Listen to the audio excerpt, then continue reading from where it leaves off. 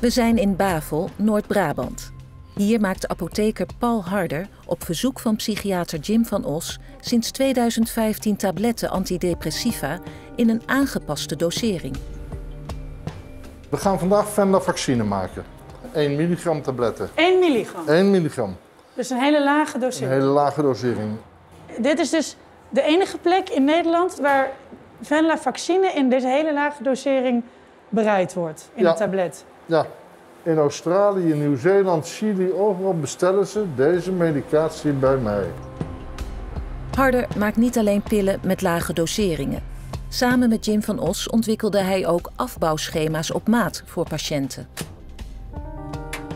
Deze machine, daar zitten verschillende geneesmiddelen in. En die verpakt hij per dag de juiste dosering voor de patiënt. Van een geneesmiddel als een venlafaxine, daar zijn er meer dan 100 verschillende afbouwtrajecten. Schema's, dus Schema's. stapjes. Voor Ja. hoe mensen dat, in welke snelheid ze de dosering verlagen met hun afbouwstrip. Meer dan 100 schema's die u levert. Levert.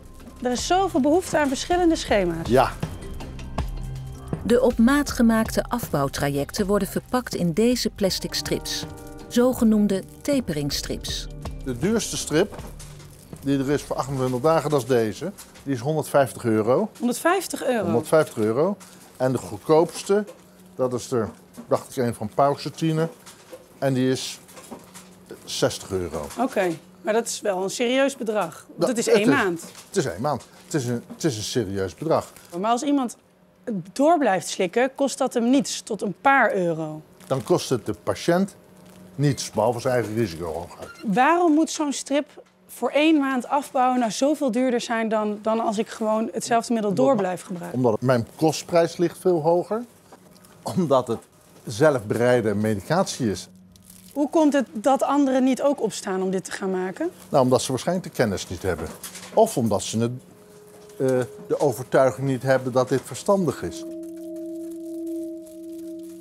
Vier jaar geleden begint Marijke aan een afbouwpoging met taperingstrips.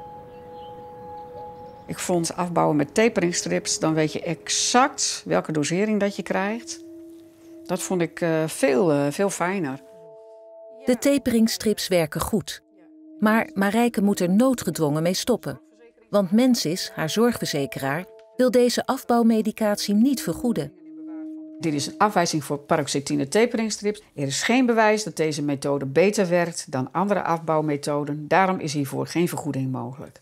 Nou, that's it. Dat wist u niet. Nee, dat wist ik niet. Nee. Ik ging ervan uit dat dit net als deze, deze gewone tabletten ook vergoed zou worden. Maar dat was dus niet zo. Nee, En wat kostte dat? een eh, euro of honderd in de maand. En kon u dat opbrengen? In het begin eh, wel. En toen had ik ook zoiets van, nou, dat moet ook gewoon. Maar na een poosje dacht ik van, ja, dit is niet meer te doen. Het werd gewoon te duur om dat elke maand zo op te hoesten. Volgens Mensis is dus onvoldoende bewezen dat afbouwen met taperingstrips beter werkt dan met reguliere medicatie. Tot grote frustratie van psychiater Van Os. In 2018 en 2020 vraagt hij in totaal 1600 patiënten bij wie eerdere afbouwpogingen mislukten, of het hen met taperingstrips wel lukte. En wat we hebben gezien in de eerste twee onderzoeken is eh, telkens eh 0% succes zonder taperingstrip, 70% succes met taperingstrip. Dus wij waren echt, echt verbaasd. want Dat is een heel groot effect. En dat betekent dat we dus nu echt overtuigend bewijs hebben dat taperingstrips werken. Maar de zorgverzekeraars blijven erbij.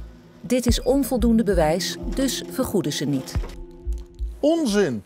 Het is een kul argument met slechts één doel: niet betalen. Het maakt u boos, hè? Ja, het maakt me heel boos. Ja, ik vind het een heel eh, ehm, eh, nou ja, rigide standpunt. Je ziet dat met dit soort langzame afbouwmethodes dat dat, dat, dat eh, bij een grote groep mensen beter gaat. Ja, het lijkt mij logisch dat je daar dan eh, eh, inderdaad ook naar kijkt in het kader van de vergoedingen. Maar verzekeraars kunnen toch ook niet zomaar alles gaan vergoeden? Die moeten ook voor ons de premie laag houden. Zeker. Eh, alleen je hebt natuurlijk ook wel een, een, een zorgplicht in de zin van ja, je moet ook mensen die nu problemen hebben, moet je helpen.